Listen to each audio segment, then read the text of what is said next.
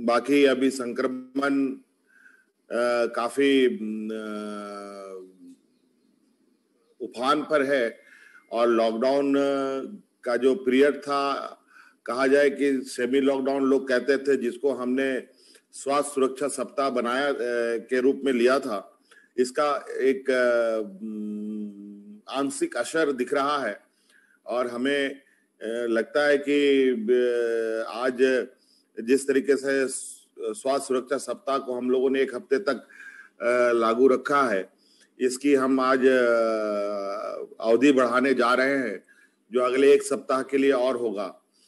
और अगले एक सप्ताह तक मुझे लगता है कि जो यहाँ संक्रमण का जो गति है, उसमें बड़ी तेज़ी से कमी आएगी, और हम स्वास्थ्य व्यवस्था को एक ब्रीदिंग पीरियड भी मिलेगा और जिससे हम आने वाला समय में संक्रमण में मजबूती से भी लड़ेंगे और संक्रमण पर काबू भी पाएँगे। और आपको बहुत बहुत शुभकामनाएँ इस पहल के लिए आपने और सरकार भी अब इस पे आपके साथ मिलजुल कर इस सेंटर को चलाएगी और उसका लाभ हम साहिबगंज जिला वालों को दिला पाने में सक्षम साबित होंगे।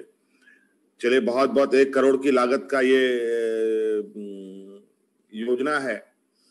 और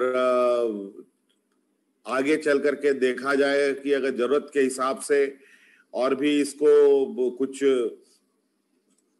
चीज़ों से जोड़ना होगा तो भी सरकार जोड़ने का काम करेगी। बहुत बहुत शुभकामनाएँ सबको और इसका विधिवत उद्घाटन किया जाए।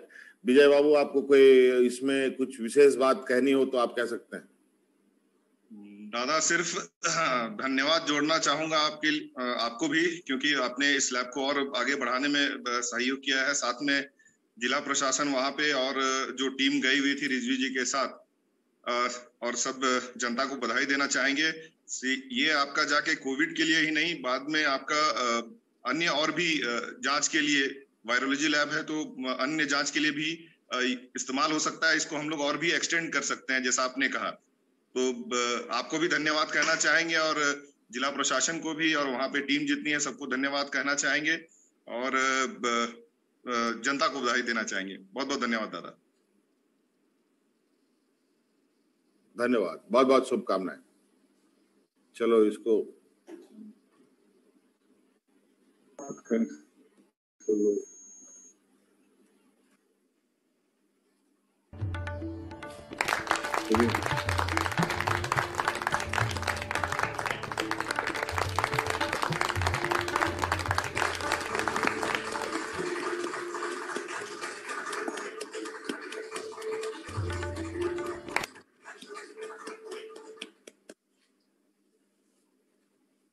चलिए बहुत बहुत शुभकामनाएँ। बहुत बहुत धन्यवाद। वहाँ जरा फिजिकली करें। जिला वाला दिखाएँ। सर आपकी अनुमति से हम लोग डीसी साहेबगंज से ये अनुरोध करेंगे कि वहाँ लैब को एक बार दिखला सके वेबकैम के माध्यम से और साथ ही साथ फ़िज़िकल इनॉग्रेशन और अपनी कुछ बात रखना चाहे तो रख सके। डीसी सर सर दिखा रहे हैं सर। इसमें इसमें बोलूँ?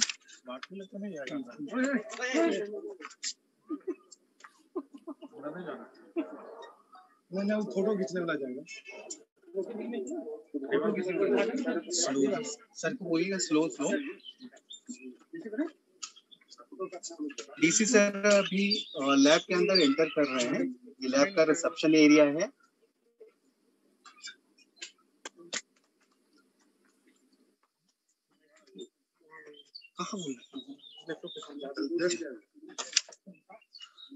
कैमरा? आउटपुट कहाँ है? वहाँ का आउटपुट। ये लैब का रिसेप्शन एरिया है, जहाँ पे डीसी सर अभी ये यहाँ पे एयर शावर लगा हुआ है। लैब के अंदर एंटर करने से पहले इसमें हेपा फ़िल्टर भी लगाया गया है। जो कोई भी स्टाफ इसके अंदर जाएगा तो पहले फ़िल्टर से फ़िल्टर होके और लैब के अंदर एंटर लेगा। अंदर चलेगा अब लैब के अंदर एंटर करने के बाद इसके बस बस बस। हाँ। यहाँ पे आरएनए एक्सट्रैक्शन के लिए एक मास्टर मिक्सिंग रूम है एक आरएनए एक्सट्रैक्शन के लिए रूम बना हुआ है और एक आरटीपीसीआर रूम है। मशीनें दिखेंगी। हाँ इतने जगह सर हाँ। बड़ा नहीं।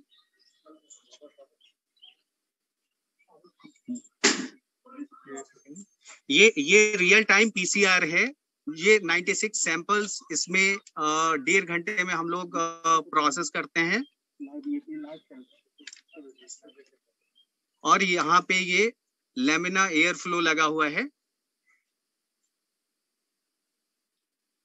ये ऑटोक्लेव है, जहाँ पे सारी चीज़ें हम ऑटोक्लेव में इन्फेक्टेड आइटम को एस्ट्रलाइज करते हैं। यहाँ पे ये पास बॉक्स लगा हुआ है, जो स्टील का। सैंपल जब आरएनए एक्सट्रैक्शन के बाद मास्टर मिक्सिंग इस, के अंदर एक यूवी लाइट है, उसके थ्रू दूसरे कमरे में जाता है।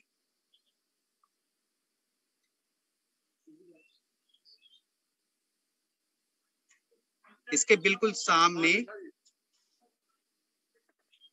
आरटीपीसीआर वाले में नहीं जा पहुँच रहा है ना पहुँच नहीं रहा लंबा तार। थोड़ा सा भी चला जाएगा आरटीपीसीआर में? हाँ। बस।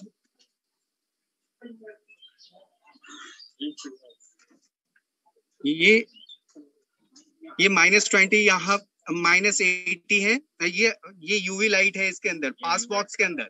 ये पास बॉक्स के अंदर अल्ट्रावायलेट लाइट लगा हुआ है जैसे सैंपल एक कमरे से दूसरे कमरे में एक्सपोर्ट करता है।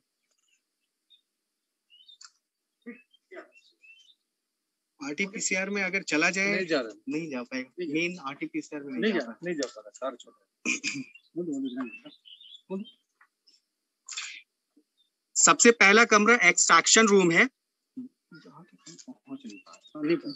जहाँ तक हम, हमारा कैमरा नहीं पहुँच पा रहा है एक्सट्रैक्शन रूम में हमारी दो मशीनें लगी हुई हैं। दो मशीनें, एक मशीन की कैपेसिटी 12 सैंपल एक घंटे में करने की है। दूसरी मशीन जो स्टेट से कल हमारे पास आई है, उसकी 96 है 35 टू 40 मिनट्स में करने की।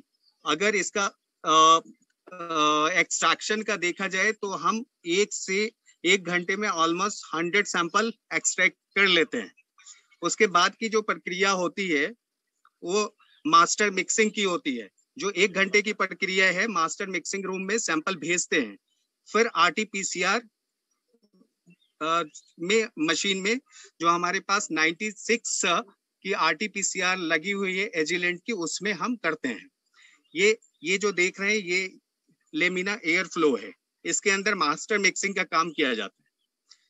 मास्टर मिक्सिंग के बाद हम जो फाइनल वर्क